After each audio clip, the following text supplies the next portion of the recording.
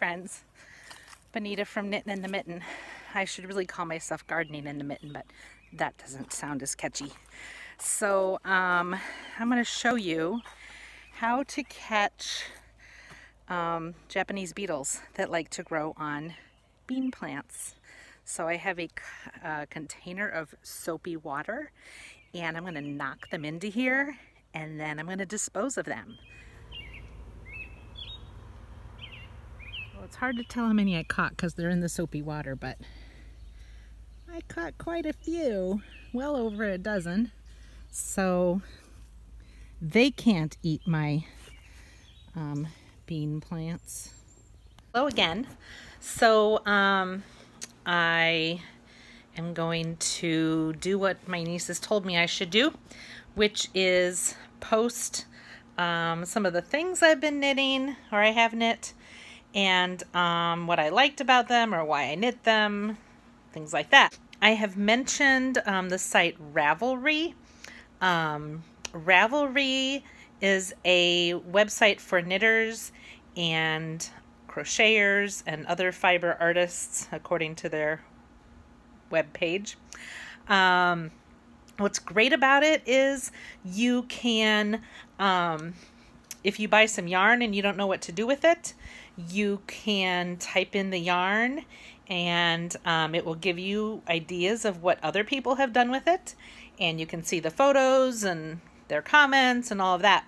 If you want to knit something, you can search for anything and see all the people that have knit that thing and what yarn they used and everything. So um, it's really, it's really super helpful if you're a knitter like me. I don't crochet. Um, but um, my friends told me about it when I lived in Minnesota when it was just starting and they were letting some people test it out. And so some of us got to test it out.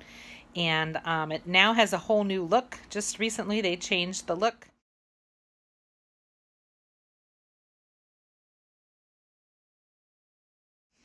Um, but if you like to knit or crochet, I definitely recommend signing up and you can get caught in a rabbit hole. Um, you can also follow people. So if you want to look me up there, I'm Auntie Bonita and you can see all the things I've posted. So I will be making some videos to show you the things I have knit. So um, the first thing that is on my Ravelry page is a puppet that I made. Sorry, I've got my other phone here so I can look at it. I made it, I have no idea when because I didn't put a date in apparently. Um, and I will show you a picture of the puppet.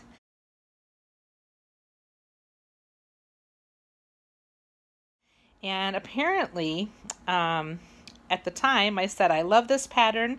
The finished product always brings a smile and I have since found some sew on googly eyes that I really like to use for this puppet. Um, but you can also use snap-on eyes that I have found in the doll supplies section of craft stores. So, um, and apparently I made it for my friend's daughter Eliza. So I did not remember that, but Eliza is nearly grown up. So um, it was quite a while ago that I made it. Um, and then I realized that I had a picture of another puppet that I made, so I'll share that too.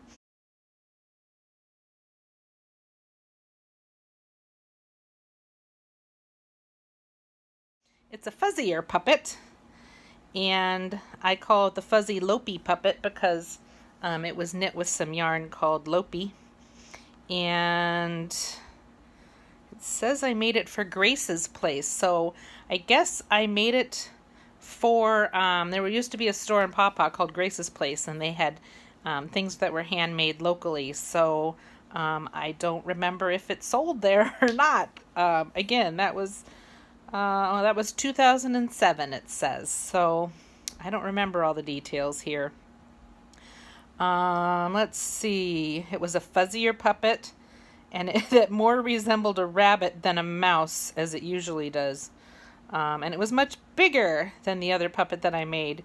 Um, so anyway, there's two things that I have made in my knitting lifetime and I will share more. I will link to these um, Ravelry pages for these two puppets and you can see what yarn I used and all that. So, so the other thing about the puppet is that um, it's felted. So you knit it with 100% wool and then you wash it in very hot water, preferably in a top loading, loading washing machine um, until all the stitches disappear and it turns into felt. So um, it's pretty fun, um, but you never know what size it's going to be unless you use, well, it, you just never know because your machine might felt the exact same yarn differently than my machine. So it's always an adventure when you felt. Um, happy knitting!